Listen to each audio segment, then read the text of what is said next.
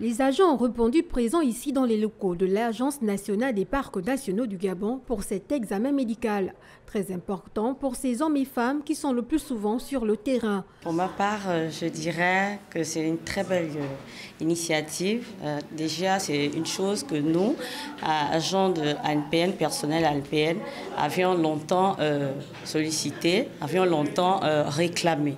Ben, c'est une très bonne chose pour nous, pour nous, surtout pour nous les agents de terrain. En entreprise, la visite médicale est très importante. L'ensemble des examens est réalisé par toute une équipe et l'enjeu est plus grand lorsque des cas graves sont détectés. L'examen médical consiste à prendre les paramètres du patient, donc tout ce qui est pression artérielle, le pouls, et à faire un examen clinique et complété par une bandelette urinaire, et ensuite conclure pour savoir si euh, l'employé est apte ou pas, orienter également vers les spécialistes.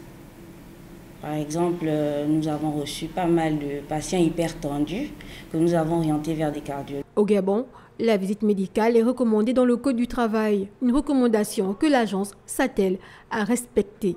Comme le prévoit le Code du travail, euh, il est prévu que chaque année, le personnel de l'Agence nationale des parcs nationaux subissent un examen euh, médical annuel. C'est dans le, euh, le but de connaître l'état de santé de notre personnel. La visite médicale est un examen obligatoire. Pour les responsables de l'ANPN, les cas détectés graves vont être orientés et suivis par des spécialistes avec la contribution de l'entreprise. Depuis sa création, l'agence multiplie cet examen au profit des employés. Pour ceux de l'intérieur du pays, des équipes feront le tour des différents parcs.